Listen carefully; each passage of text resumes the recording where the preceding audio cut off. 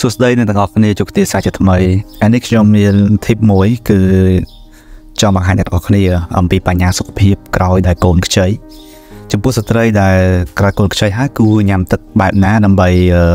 ថែរក្សាសុខភាពរបស់ខ្លួន ក្រោយពេលដែលអ្នកសម្រាលកូនរួចហើយស្ថិតក្នុងដំណាក់កាលកូនខ្ចីអ្នកគួរតែប្រយ័ត្ននៅការញ៉ាំទឹកម្ដងម្ដងដោយនេះដល់ពេលដែលអ្នកកូនខ្ចីអ្នកគួរតែញ៉ាំទឹកបែបណាទៅដល់ពេលដែលអ្នកកូនខ្ចី គឺអ្នកគួរតែញ៉ាំទឹកដែលដាំពុះហើយមិនគួរញ៉ាំទឹកដែល